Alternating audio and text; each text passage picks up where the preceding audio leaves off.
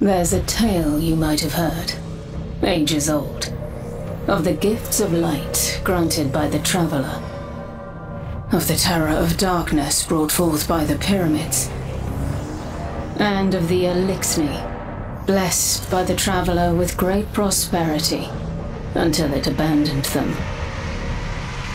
This ongoing war between light and dark would bring a similar fate to our doorstep. Humanity's collapse.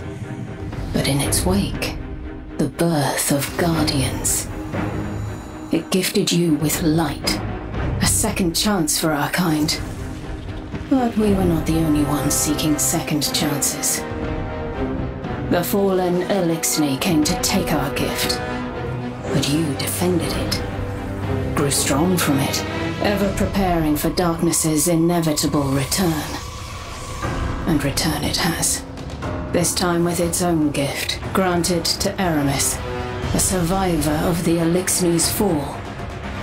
And now, a wielder of darkness against our traveler.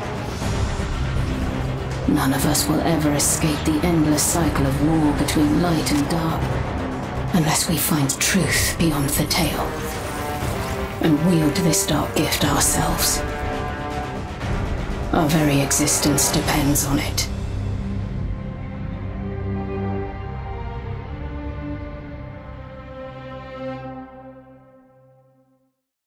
PlayStation